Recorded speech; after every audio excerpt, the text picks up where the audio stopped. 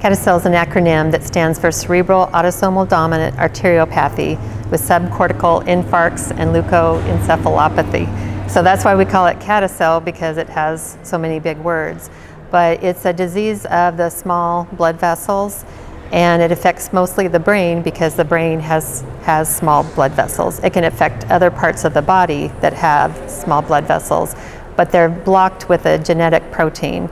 And so it's not like something um, that, like plaque or something that can be busted with plaque um, busting drugs. There's no drug that will take care of the protein that's blocking our, our small blood vessels. So in the, deep in the brain, there are there is cell death and those create the lesions or the infarcts, um, the scarring in the brain, and depending on where those are, that can determine what kind of symptoms you have with CADASIL. Um, CADASIL has, has many, many symptoms um, that are common with other conditions, and, but the most prevalent one uh, is migraines. Um, migraines generally with aura, um, people with CADASIL have strokes generally long before they should ever have strokes. I'm 55 myself, but I have friends in the CADASIL community in their 20s, 30s, and 40s who have already started having recurring strokes.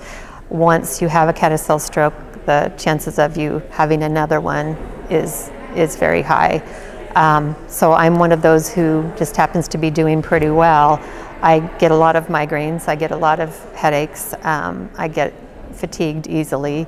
Um, I have some mood disorders that I that I medicate for um, that are that's very helpful that way. But because I I do I'm doing well considered uh, or compared to other people in my rare disease community, I advocate for people with CADASIL because I, I can. You know, I'm able to speak um, well, I'm, I'm mobile. Many people with CADASIL uh, have mobility issues.